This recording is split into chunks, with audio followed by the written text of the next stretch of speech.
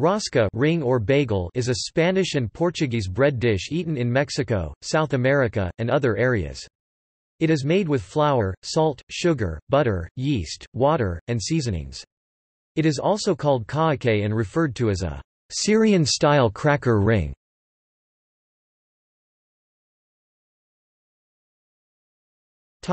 Roscas de Reyes variation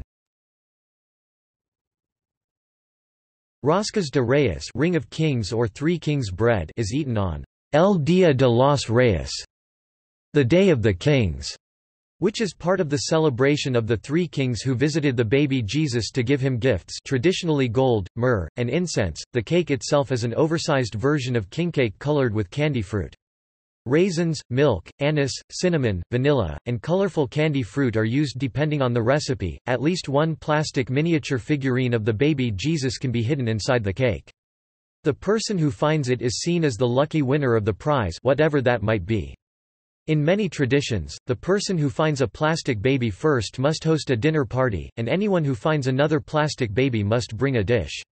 The dinner party is hosted on the 2nd of February, which is called Dia de la Virgen de la Candelaria, Day of the Virgin of Candelaria. After eating the rosca, the children leave their shoes near the doorstep so they can receive a small gift.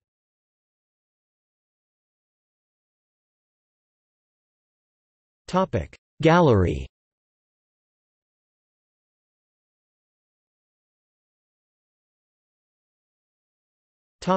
See also List of breakfast foods. List of donut varieties